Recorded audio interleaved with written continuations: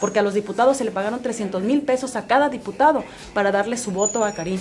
Eso es nuestra indignación. Si lo hubieran hecho legal, nos hubiéramos aguantado, pero no es, no es legal. ¿En los papelitos qué dicen?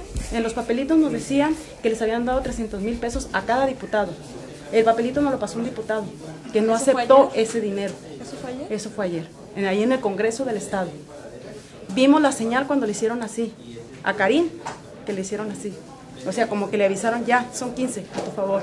Y la satisfacción que tuvo Karim cuando le hicieron esa señal. O sea, no estamos ciegos.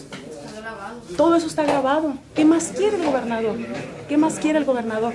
O sea, ¿qué más pruebas quiere que su- sus achichincles están trabajando por medio de dinero, no por medio de lealtad? Mucho menos por medio de la... Están en corrupción, en impunidad.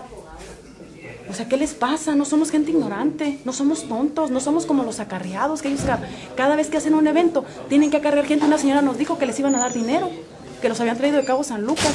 Andaban cuajaquitos, porque es la verdad, cuajaquitas, alegando tonterías que ni siquiera concordaban. Tonterías que cuando les explicamos, ¿sabes qué dijeron? Híjole, ni, ni lo que nos dieron. O sea, ¿dónde está, la, ¿dónde está el gobierno? ¿Dónde está el gobernador? ¿Por qué está haciendo todo esto? ¿Qué le pasa? ¿Se está hundiendo solo?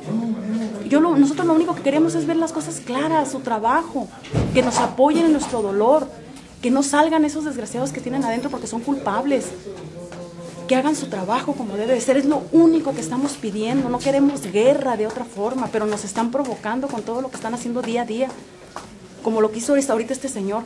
Estoy muy molesta porque me, me quiso sacar empujones y me aventó, cuando yo soy una, la tía del, del muchacho asesinado. ¿Qué le pasa?